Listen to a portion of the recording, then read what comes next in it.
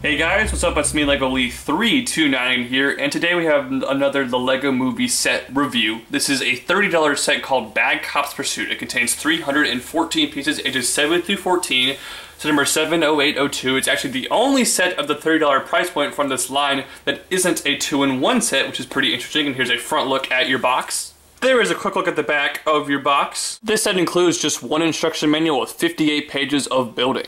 Our first minifigure here is, of course, the main character of the film, Emmet. And if you've seen my reviews for the Getaway Glider or the Melting Room, you would have already seen this minifigure multiple times. It's the exact same version, still a great fig, but extremely common in these sets. Emmet does feature a nice double-sided face. And here he is from the back with, of course, the piece of resistance right there. This set is called Bad Cop Pursuit, and of course, you get none other than the Bad Cop himself. Really cool looking minifigure, not the exact same version that comes in the collectible minifigure series. The printing here is a little bit different, and the face printing is the main difference here with a different expression. He also has one of those brand new guns that we'll be seeing a lot of the new Star Wars sets whenever those come out in America. And the cool thing about these guns is that they actually fire the stud. I don't usually like to bring my hands in on the minifig review, but I had to demonstrate this. You push on this little dark gray piece, and it will fire that stud, which is an awesome awesome little feature. Now, what would Bad Cop be without Good Cop. You can see he has a nice double-sided face right there with the Good Cop. Really happy, crazy, silly look, and I really like that feature. And unlike his LEGO minifigure series counterpart, this time around he actually does feature some back printing, which is pretty cool. So here is the actual set itself. There's a lot going on here, so take a closer look at each little piece individually.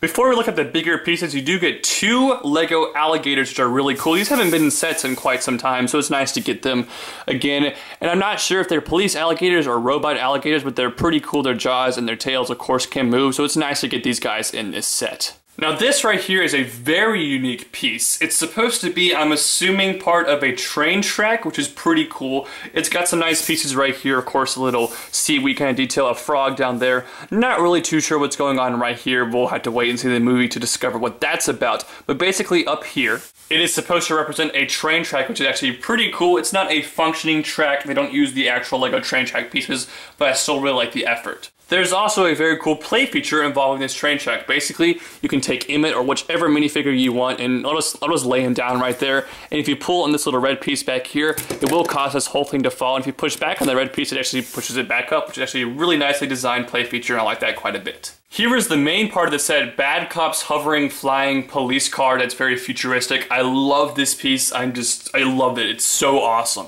Here is the front of the vehicle. Here you have a nice logo right there for the Super Secret Police. You can move it around the side right here and it says Super Secret Police. The stickers here actually go on very easily, which is pretty nice. And actually on the front, there's a small little play feature. You can lift this part up and then you pull these things down. It reveals little lasers or maybe they're just lights. I'm not too sure what they're supposed to be, but it's a cool little hidden play feature. The middle of this vehicle here looks very cool. I'm not a huge fan of the gap right there, but that's really one of my only problems with this vehicle. And just moving along the side here just looks absolutely fantastic. The spoiler back here, the designs for the back engines, very cool. This thing just looks superb. The top here actually has a pretty random sticker. I'm not really too sure what those numbers are supposed to represent, but you actually can open it up, which is pretty cool. And down inside there's actually a pretty good amount of room, lots of room to store his gun, and you can put bad cop in there. You can close the cockpit up and this thing is ready to roll, which is really cool. And it actually looks pretty sweet right there. Now there's one last play feature I'm going to show you guys on this thing. It's a hidden feature and I think it's absolutely fantastic. So these pieces right here, you can actually lift these up and on the side here, this thing pulls out this way and then it folds out this way and it reveals some laser cannons, which is really, really cool. I like this feature quite a bit. It's unique, it's different, it's pretty sweet. It doesn't look quite as good as when it's in the stationary mode, but just look at that. That's a really cool hidden play feature. All right, guys, final verge here on this set. I love this set. It's really, really cool. The main problem, surprisingly, is the minifigures in this set because they're not that great. I mean, they're really good design minifigures, but only one is exclusive, and it's just a variant of a character that came in the collectible minifigure series. Emmet comes in so many of these sets, and you only get two for $30, so that's weak, in my opinion. That's the weak point of the set. Besides that, everything is just really, really cool looking. A great deal for $30 with 314 pieces. Really good playability here. Just a really cool all-around set besides the disappointing minifigures. Because of the minifigures, this set's only gonna get an 8.9 out of 10. I really wanted to get into the 9s, but because of the minifigs, I can't. But please rate, comment, subscribe. I hope you guys enjoy my review. Please go check out all my other reviews for these new LEGO movie sets. Please like my Facebook page, follow me on Twitter, follow me on Instagram, and please like this video video, comment, subscribe to this channel, favorite it, and share it with all your friends. I hope to see you guys next time. Bye.